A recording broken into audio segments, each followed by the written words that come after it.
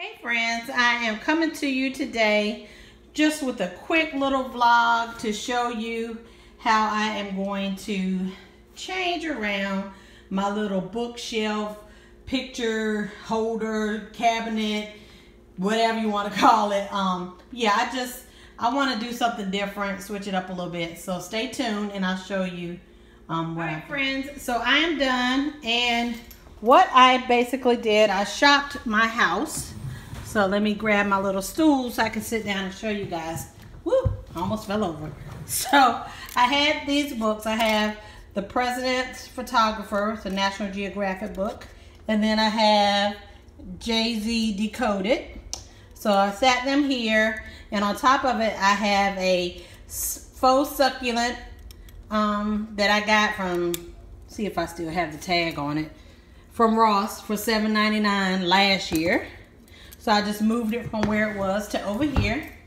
Then I have my little um, bass player that I've had. He was in another part of my home. But I thought it went with the theme with the jazz over here. And then you have the music books, which you guys will see.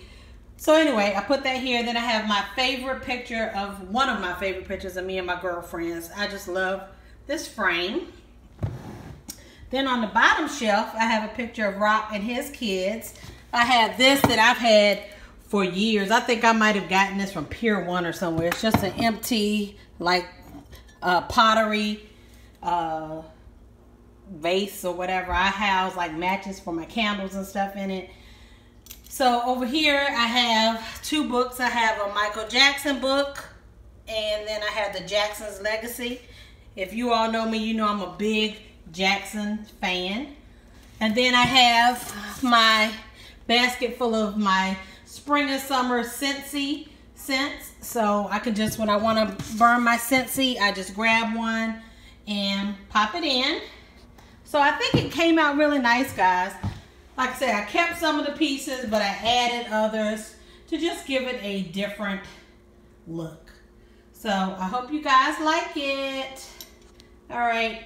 Please give me a thumbs up, like, and share with a friend, family, or anybody you think that would enjoy watching my random channel, my vlogs, my uh, decor vlogs, you know, just Stacey C's spot.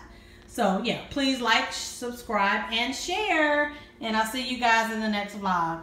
Have a great weekend. Bye.